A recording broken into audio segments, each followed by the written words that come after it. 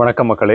Welcome to என் point of view இதான் நம்ம சேனலுக்கு நீங்கள் ஃபர்ஸ்ட் டைம் வரீங்கன்னா நான் அறிமுகப்படுத்திக்கிறேன். நான் Sasthar Pushpalingam channel host and இன்னைக்கு என் பாயிண்ட் ஆஃப் வியூவில் நம்ம ரிவ்யூ பண்ண போகிற திரைப்படம் இயக்குனர் ரா வெங்கட்டோட டைரக்ஷனில் வெளியாகி இருக்கிற கிடா. படத்தை ஓப்பன் பண்ணால் கதிர்னு ஒரு எட்டு வயசு பையனை நம்ம பார்க்குறோம். தன்னுடைய அப்பா அம்மா இறந்துட்டதுனால தன் தாத்தா பாட்டியோட வளர்ப்பில் வந்து இந்த பையன் வாழ்ந்துட்டு இருக்கான். இவனுடைய தாத்தா பாட்டி வந்து ரொம்ப ஏழ்மையானவங்க. இவனுடைய தாத்தா கேரக்டரில் பூராம் நடிச்சிருக்காரு. ஒண்டர்ஃபுல் ஆக்டர் அண்ட் இவங்களுடைய வீட்டில் தங்களுடைய குலசாமிக்கு நேர்ந்து விட்டுறதுக்காக கருப்பு அப்படின்ற ஒரு கிடா ஆட்டுக்குட்டியை வந்து வளர்த்துட்டு இருக்காங்க. அண்ட் இந்த ஆட்டுக்குட்டியோட கதிருக்கு வந்து பயங்கரமான ஒரு பாண்டிங் இருக்கு. அதாவது இந்த ஆட்டுக்குட்டி வந்து யார் சொல் பேச்சும் கேட்காது யார் கூப்பிட்டாலும் வராது. கதிர் கூப்பிட்டா மட்டும்தான் வரும் அப்படின்ற ஒரு விஷயத்த வந்து தாத்தா கேரக்டர் மூலமா இயக்குனர் வந்து நம்ம மனசுல பதிய வைக்கிறாரு. படத்துல கதைப்படி இன்னும் தீபாவளிக்கு வந்து சில நாட்களே தான் இருக்கு. அண்ட் தீபாவளிக்கு வந்து புது துணி எடுத்து கொடுங்க தாத்தா அப்படின்னு சொல்லிட்டு கதிர் வந்து அவங்க தாத்தா கிட்ட ரொம்ப ஆசையா கேட்கலாம். பிகாஸ் அவனுடைய ஃப்ரெண்ட்ஸ் எல்லாருமே வந்து கொஞ்சம் middle class upper middle class ஃபேமிலின்றதுனால அவங்க எல்லாருமே வந்து நாங்கள் வந்து மதுரைக்கு போகிறோம் நாங்கள் வந்து நிறைய பட்டாசு வெடிக்க போகிறோம் எங்கள் வீட்டில் வந்து இந்த மாதிரி ஃபேன்சியான புது துணியெல்லாம் வாங்கி தராங்க அப்படின்ற விஷயங்கள் எல்லாத்தையும் கதிர்கிட்ட ஷேர் பண்ணும்போது கதிருக்கு வந்து ஒரு ஆதங்கம் வரும். சரி ஓகே நம்மளும் இந்த மாதிரி வந்து ட்ரெஸ்லாம் போட்டுட்டு பட்டாசு வெடிக்கணும் அப்படின்னு சொல்லிட்டு அவங்க தாத்தா கிட்ட போய் கேட்பாங்க அவங்க தாத்தாவும் வந்து அவருடைய இயலாமையை மறைச்சு சரி ஓகே பேரன் ஆசைப்படுறானே அப்படின்னு சொல்லிட்டு வாங்கி தரேன்ப்பா எந்த துணி வேணும் அப்படின்னு கேட்கும்போது அவன் வந்து காமிப்பான். ஒரு பேப்பரில் வந்து போத்தி ஆட் இருக்கும் இந்த ட்ரெஸ் தான் தாத்தா எனக்கு வேணும் அப்படின்னும் போது அவர் போயிட்டு கடையில் விசாரிப்பார். விசாரிக்கும் போது கடைக்காரங்க என்ன சொல்லுவாங்க இந்த ட்ரெஸ்ஸோட விலை வந்து ரெண்டாயிரம் ரூபா அப்படின்வாங்க இதை கேட்குற பூராம் ஒரு செகண்ட் அப்படியே ஆடி போயிடுவார். ரெண்டாயிரம் ரூபாய்க்கு நம்ம எங்கே போகிறது நம்மளுடைய அன்றாட செலவுக்கே வந்து ரொம்ப கஷ்டப்பட்டுட்டு இருக்கும்போது பேரன் இப்படி ஆசைப்பட்டுட்டானே. இருந்தாலும் அவனுடைய ஆசை நிறைவேற்றணும் அப்படின்னு சொல்லிட்டு தெரிஞ்ச இடம் எல்லாத்துக்கும் போயிட்டு தெரிஞ்ச ஆட்கள் உறவினர்கள் எல்லாத்தையும் கடன் கேட்பாரு. பட் எல்லாருமே வந்து காரணங்கள் சொல்லி தட்டி கழித்து அவருக்கு வந்து உதவி பண்ணாமல் விட்டுருவாங்க. இன்னும் சொல்லப்போனால் இருக்கிற நிலப்பத்திரத்தெல்லாம் கொண்டு போய் நிலத்தையே விற்கலான்ற நிலைமைக்கு இறங்கிடுவார். பேரனுடைய ஆசையை பூர்த்தி பண்ணணும் அப்படின்னு சொல்லிட்டு. பட் இருந்தாலும் வந்து அவருக்கு எந்த இடத்துல இருந்தும் உதவி கிடைக்காது. இப்படி ஒரு ஒரு கஷ்டமான நிலைமையில நின்றுட்டு இருக்கும்போது கதையில் சைமல்டேனியஸாக இன்னொரு ஒரு ட்ராக் ஓடிட்டு இருக்கும் நம்மளுடைய இன்னொரு ஒரு ஃபென்டாபிளஸான ஆக்டர் காளி வெங்கட். இதில் வந்து கறிக்கடையில் கறி வெட்டுற தொழிலில் ஈடுபடும் ஒரு நபராக வந்து நடிச்சிருக்காரு. படத்துல காளி வெங்கட்டோட கேரக்டர் பார்த்தீங்கன்னா இவர் பேசிக்கலாவே வந்து ஒரு ஆல்கஹால் அடிக்ட் டெய்லியும் நைட்டு குடிச்சிட்டு கடைக்கு வந்து காலையில நேரத்துக்கு போகாம இருக்கிற மாதிரி ஒரு கேரக்டர் இதனால என்ன ஆகுது? கடை ஓனரோட பையன் வந்து ஒரு கட்டத்துல வந்து பயங்கரமா டென்ஷன் ஆயிட்டு இதுக்கு மேலே நீ வந்து வேலைக்கு வர தேவையில்ல இங்க வந்து கிளம்புடா அப்படின்னும் போது ரெண்டு பேருக்கு நடுவில் ஒரு கைகலப்பாயிட்டு ஒரு சபதம் விட்டுறாரு. இந்த தீபாவளிக்கு உன் கடைக்கு முன்னாடியே நானும் ஒரு கடையை போட்டு உன்னை விட ஒரு நல்ல பிஸ்னஸ் பண்ணி காமிக்கிறேன்டா அப்படின்னு சொல்லிட்டு சவால் விட்டுட்டு கடையை விட்டுட்டு வெளியில் வந்துடுறாரு. பட் கறிக்கடை போடுறதுக்கு ஆடு வேணும் இல்லைங்களா? கையில காசு இல்லாமல் எங்கெங்கேயோ அலைவார். வெறும் ஒரு ஐநூறுரூவா வச்சுக்கிட்டு இது அட்வான்ஸ் அமௌண்ட்டா வச்சுக்கிட்டு எனக்கு ஒரு ஆடு கொடுங்க அப்படின்னு சொல்லிட்டு பல பேர்கிட்ட போயிட்டு கேட்பாரு. பட் யாருமே வந்து இதெல்லாம் ஒரு அமௌண்ட்டா வச்சுக்கிட்டு நாங்க எப்படிப்பா ஆடு தர்றது உனக்கு? ஃபுல் அமௌண்ட்டை கொண்டு வந்து கொடுத்துட்டு நீ எவ்வளவு ஆடு வேணாலும் எடுத்துட்டு போ அப்படின்னு சொல்லுவாங்க. பட் இவர்கிட்ட காசு இல்லாததுனால இவரும் வந்து ஒரு இக்கட்டான சூழ்நிலையில நிப்பாரு. இப்படி பேரன் ஆசைப்பட்ட தீபாவளி துணி வாங்கி தர முடியாம ரொம்ப கஷ்டப்பட்ட நிலமையில ஒரு தாத்தாவா பூராம் ஒரு பக்கம் நிற்கிறாரு அண்ட் இன்னொரு பக்கம் தீபாவளிக்குள்ள எப்படியாவது கறிக்கடை போட்டுடணும் பட் அதுக்கு ஆடு வாங்குறதுக்கு காசு இல்லாமல் ஒரு இக்கட்டான சூழ்நிலையில காளி வெங்கட் இன்னொரு பக்கம் நிற்கிறாரு இப்படி படத்துடைய ரெண்டு பிரைமரியான கேரக்டர்ஸும் இக்கட்டான சூழ்நிலையில ஹெல்ப்லெஸ் தான் நிற்கும்போது நம்ம படத்துடைய இன்னொரு ஒரு மெயின் கேரக்டர் கருப்புன்ற ஆடு வந்து சீன்குள்ள வருது. பூராம் வந்து வேற வழியே இல்லை. நம்ம பேரனுடைய ஆசையை நிறைவேற்றணும்னா நம்ம குலசாமிக்கு நேர்ந்து விட்ட ஆடை வந்து விற்கிறத தவிர்த்து வேற ஒரு ஆப்ஷனே கிடையாது அப்படின்னு சொல்லிட்டு அதை விற்கிறதுக்கு வந்து முடிவு பண்ணுவார். அண்ட் அந்த ஆட்டை வாங்கிக்கிறதுக்கு காளி வெங்கட் வந்து ரெடியாக இருப்பார். இப்படி இவங்க ரெண்டு பேரும் ஒரு மியூச்சுவலான அண்டர்ஸ்டாண்டிங்க்கு வந்துட்டு இவங்க பிரச்சனை எல்லாம் சால்வ் ஆக போகுது. இவர் வந்து பேரனுக்கு துணி எடுத்து தர போறாரு. அண்ட் காளி வெங்கட் வந்து கறிக்கடை போட போறாரு அப்படின்னு சொல்லிட்டு நம்ம நினைக்கும் போது அந்த ஆடு வந்து காணாமல் போயிருது. ஆடை வந்து திருடிட்டு போயிடுறாங்க. ஸோ காணாமல் போன இந்த கெடாவை இவங்க ரெண்டு பேரும் சேர்ந்து ஓவர் நைட் தேடி விடிஞ்சு தீபாவளி ஆரம்பிக்கிறதுக்குள்ள கண்டுபிடிக்கிறாங்களா இல்லையா? இவர் பேரனுக்கு ட்ரெஸ் வாங்கி தராரா இல்லையா? அண்ட் காளி வெங்கட் கறிக்கடை போட்டு அவருடைய சபதத்தை நிறைவேற்றுறாரா இல்லையா? அப்படின்றது தான் rest of the story and climax இந்த திரைப்படத்தை பொறுத்த வரையில் இதில் பாசிட்டிவ்ஸ் நெகட்டிவ்ஸ்னு நம்ம பிரித்து பேசுறதை விட ஓவராலாக பேசுறது எனக்கு வந்து பெட்டர்னு தோணுது. பிகாஸ் இந்த படம் வந்து ரொம்பவே நியூட்ரலாக இருக்குங்க. இதில் வந்து எக்ஸ்ட்ரீம் பாசிட்டிவ்ஸும் இல்லாமல் எக்ஸ்ட்ரீம் நெகட்டிவ்ஸும் இல்லாமல் அப்படி அப்படி ஒரு சென்டர் ட்ராக்ல வந்து படம் ட்ராவல் ஆகுது. பட் uh, ஒரே ஒரு ப்ளஸ் பாயிண்ட் இந்த மூவியில் என்னன்னா நியூட்ரலாக இருந்தாலுமே நம்ம மனசுக்கு வந்து ரொம்ப இதமாக இருக்குது ஒரு ஃபீல் குடான மூவியாக இருக்குது படத்துடைய கதையை எடுத்துக்கிட்டிங்கன்னா ரூரல் பேக்ட்ராப்பில் ஒரு சிம்பிளான நீட்டான ஸ்டோரி அண்ட் ஸ்க்ரீன் பிளேயுமே ஸ்டோரிக்கு ஏற்ற மாதிரி எந்த விதமான ஆரவாரம் ஆர்ப்பாட்டம் அதெல்லாம் எதுவுமே இல்லாமல் டீசெண்டாக நகர்த்தி கொண்டு போயிருக்காங்க.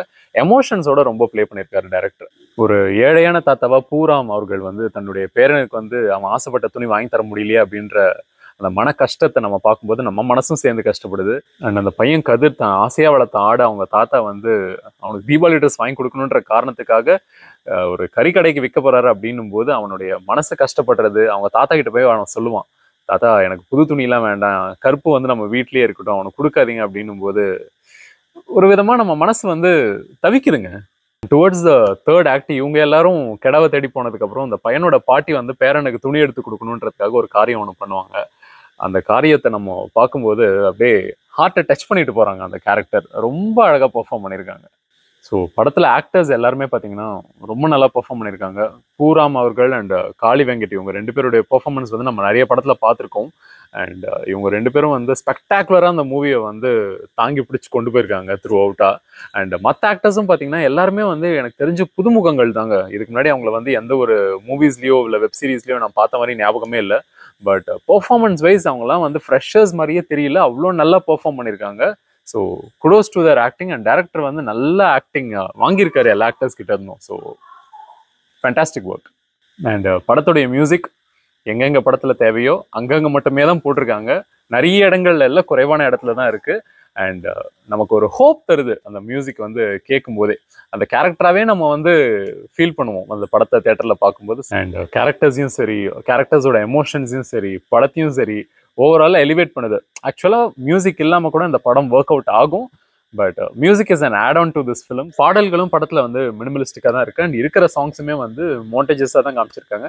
ஸோ கதையோட ஒன்றி ஸ்க்ரீன் பிளேவோட ஒன்றி ஷார்ட் பை ஷார்ட் பாடலோட கதையும் நகருது. ஸோ அதை விதிலையும் நல்லா பண்ணியிருக்காங்க ஸோ ஓவராலாக மியூசிக் டிபார்ட்மெண்ட் வந்து ஒரு குட் ஜாப் பண்ணியிருக்காங்கன்னு தான் சொல்லணும். ஸோ இப்படி டோட்டலாக எல்லா விஷயங்களையும் சேர்த்து வச்சு இந்த படத்தை பார்க்கும்போது சிம்பிளான ஒரு ஸ்டோரி லைன் அதுக்கு டீசெண்டான ஒரு ஸ்க்ரீன் பிளே ஆக்டர்ஸ் கிட்டேருந்து நல்ல பெர்ஃபார்மன்சஸ் அண்ட் எல்லாத்துக்கும் மேட்ச் ஆகிற மாதிரி மியூசிக் அண்ட் விஷுவல்ஸுமே வந்து பேசிக்காக என்ன தேவையோ கதைக்கு அதை வந்து ஆன் ஸ்க்ரீனில் டெலிவரி பண்ணியிருக்காங்க ஸோ ஓவராலாக இந்த படம் வந்து ஒரு நல்ல பேக்கேஜ் ஒரு குட் மூவி அண்ட் இந்த படத்தை வந்து ஓப்பன் பண்ணுறதுக்கு முன்னாடியே வந்து சில ஸ்லைட்ஸ்லாம் போடுறாங்க.